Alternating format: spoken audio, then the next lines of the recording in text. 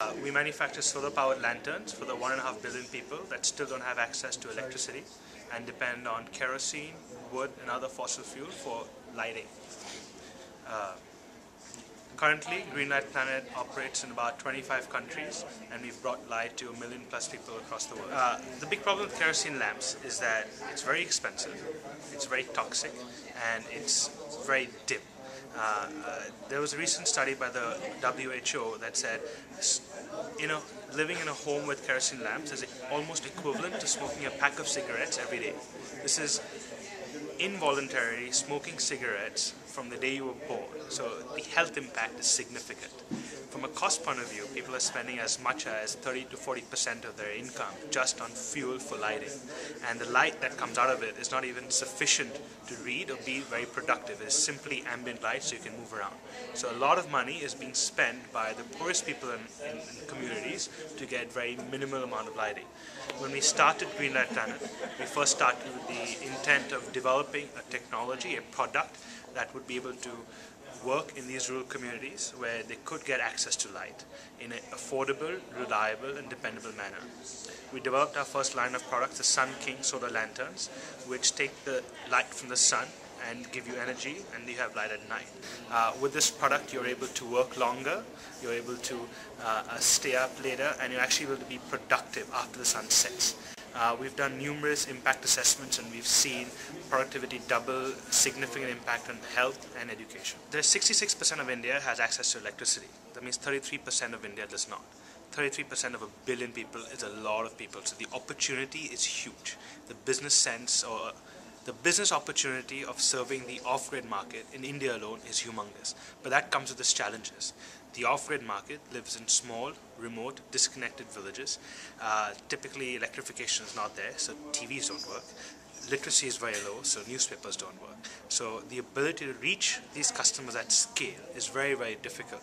So apart from working with extremely price-sensitive customers, you also have to deal with lack of infrastructure. And that's if you're working in rural India, that's the entire package. And, and what's an interesting challenge is that uh, we know that this can be resolved. And there's a fantastic case study. Take mobile phones. 66% of India has electricity, but about 85% of India has mobile phones. So if they can do it, there's obviously a way, and there's a way for us to do it. And the question is, the challenge is for everyone out there, is that how can we innovate and use existing technologies, existing business practices, modify them, improve them to work in the rural environment and actually make a difference. The innovation doesn't just stop at developing a product. What we do, the biggest challenge we have to overcome, is the ability or a mechanism to reach or take our products into these communities and make them available to the people. We have two strategies. The first is we work with a network of partners that already have access to our customers and we work with them to make our product available through their own distribution and rural reach. Partners could be NGOs, it could be government organizations, could be CSRs or it could even be corporates. Second approach is where we've created our own innovative rural distribution system.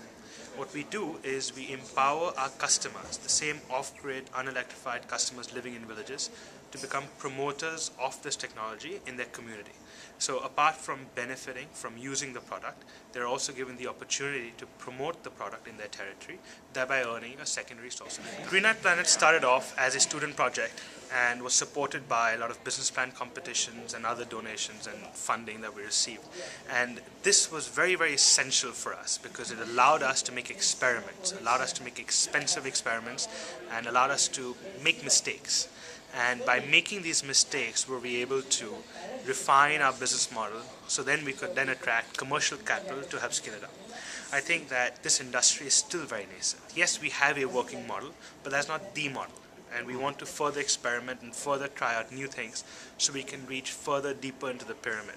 So uh, donor funding is absolutely essential. It's essential till we can identify few working scalable models that can then be replicated and taken up by the pure private, private equity and other financiers to take it to scale but there is still a lot of experimentation in the business model, in the distribution model, in the reach of and to rural communities in the ability to service them after you've provided the product and the ability to train them on how to use products and services effectively.